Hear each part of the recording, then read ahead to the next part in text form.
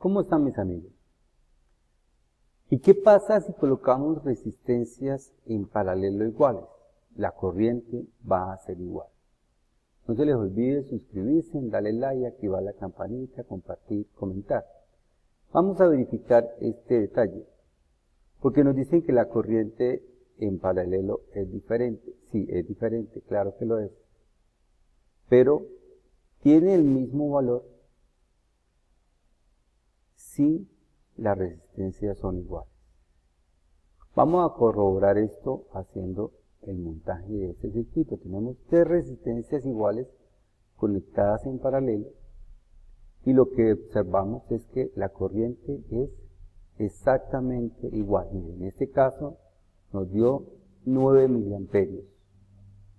Este es el valor de la corriente para este circuito en cada resistencia. Son corrientes que tienen el mismo valor.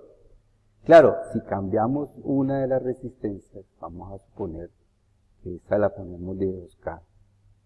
Entonces ya en esta resistencia hay una corriente de distinto valor. Vamos a poner ahora esta resistencia también de 2K. Entonces observamos que en esta y en esta son 4.5 miliamperios. Y por último vamos a colocar esta también de 2K y también nos da 4.5 miliamperios. Total, si las resistencias son iguales, la cantidad de corriente que circula por cada resistencia, si están conectadas en paralelo, es exactamente la misma.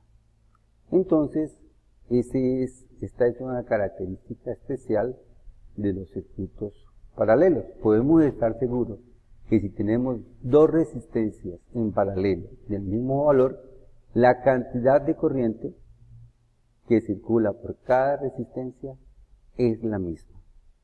No se les olvide suscribirse, darle like, activar la campanita, compartir, etc. Muchas gracias, hasta luego.